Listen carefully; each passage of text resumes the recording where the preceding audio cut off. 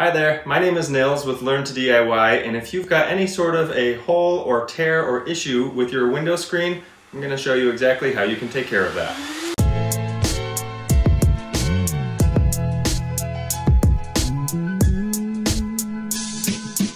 Now first, if you just have a small hole like this, you can barely see it so I put a piece of paper behind. Um, just a teeny little hole like this, you can purchase a little patch. There's small patches like this for about $3 or for 6 or 7 you can buy a larger patch that is heat adhesive. Now with these they have a little hook shape all along the outside and the objective is pretty simple. Basically you're gonna, if you just need to cover this up and you're not too worried about how it looks, then you can feed some of the hooks in one side. Once I get those in one side, I'm just gonna use my fingers from the other side of it, kind of hook those around one of the lines like so. And then you can push the other end in and same thing, you're gonna just kind of bend it in the opposite direction to just attach those hooks on there. And that's pretty much all there is to it. With that, the hole is patched. It doesn't look great, so if you're just looking for a functional fix, that's a good way to go, but if you really want to do it right, I'll show you how to replace the entire thing. So this is actually really inexpensive to fix. You can pick up a roll of screen material. This stuff is anywhere from about 750 to 15 or 20 dollars depending on if you get fiberglass, aluminum, or PET screen. Those are three different types. If you have PETs, you might want to go with a PET screen. It helps deter the holes that come from scratching. If you have aluminum, which is the metallic stuff that doesn't bend very much, then you'll probably want to replace it with aluminum, or you can go with fiberglass, which has a little more give. It's a little bit lighter, a little bit softer, and that's what I'm gonna put on here. Now a couple of other items that you'll most likely need is the spline itself. You can see in here this little piece that's a little rubber hose looking thing that's called a spline. It's typically black and it comes in multiple diameters. There's a 0.14 or 9 64ths of an inch and that's the most common size. That's what I've got right here. So before you go to the hardware store to purchase some of this, if you feel the need to do so, then make sure to take a look at what size you've got and if possible, bring some with you so that you can make that perfect comparison.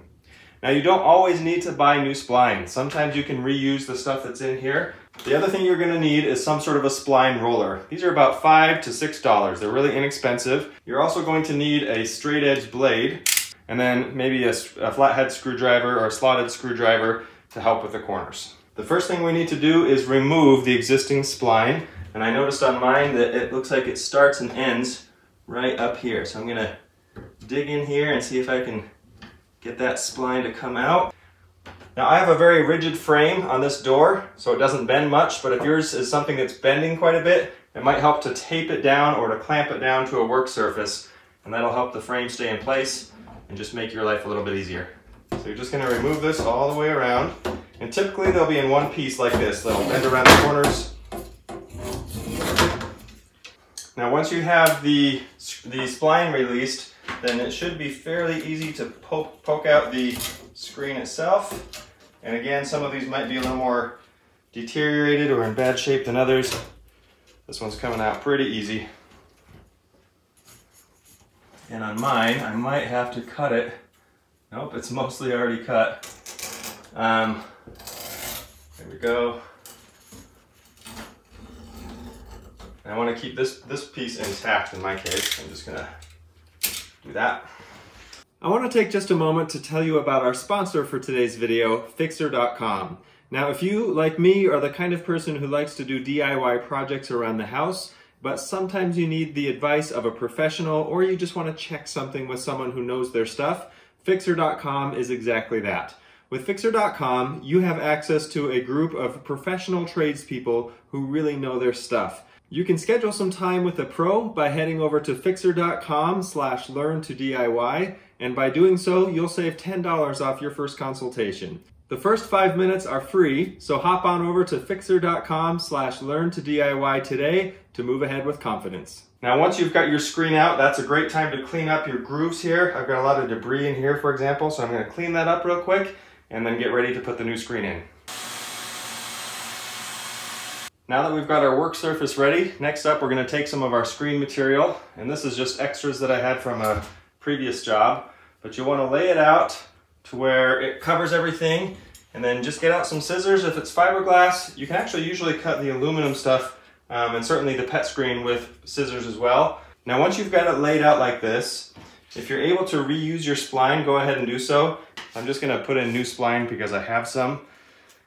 The different ways you can put this in, if you've got a regular kind of pizza slicer roller, then you can just start by putting in the rounded side and then follow it up with the grooved side of your wheels. And in my case, with this mouse, you actually insert the, the uh, spline right in through it like this, and then you feed it underneath.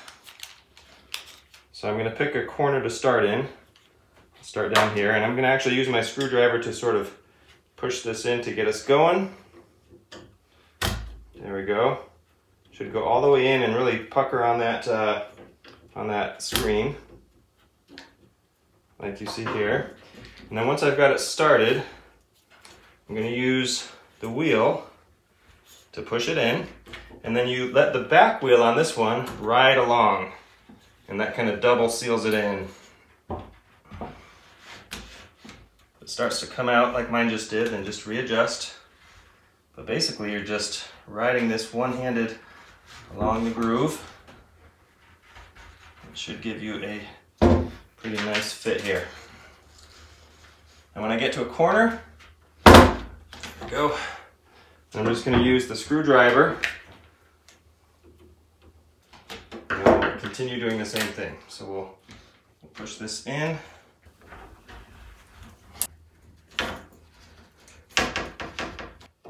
Now as I do this bottom piece, if you've got window tabs that are fragile and broken, these little window tabs are often just brittle. They just snap right off. So you can buy corner springs and pull tabs and you can actually just put those in. They go right under the spline. So I would lay one right here and lay one right here, for example, and then run the spline right over them. Those tabs sit in and that allows you to pull the frame of the window out when you need to.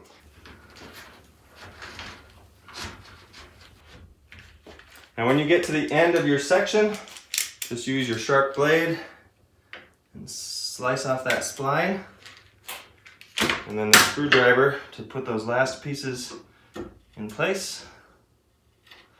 There we go. So now I've got a nice screen here, nice and taut.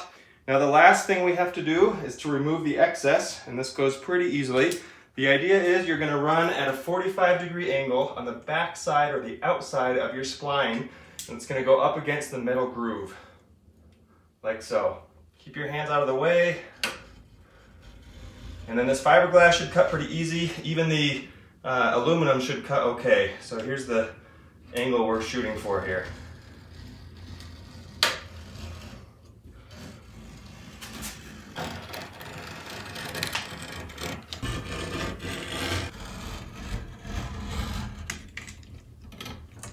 Okay. All right, and with that, the new screen is in place. It's nice and taut and everything looks good. Now, if there's more to it in your case, for example, if you have a bent frame, you can actually bend that back into place like I'm doing in this video here, like you can see, by using a straight edge, pulling it up against it, and then replacing that screen. Oftentimes it's that tension that where the screen got pushed, and so if you can reframe it and straighten out that frame, then you're in good shape. Or you can buy a whole new screen, or you can custom cut one yourself with a kit, and all you need is a hacksaw and the same tools that you see us using here, and then the kit comes with everything except for the screen material, which you would need to purchase separately. And that's it for this project. Thanks so much for watching, and we'll see you next time.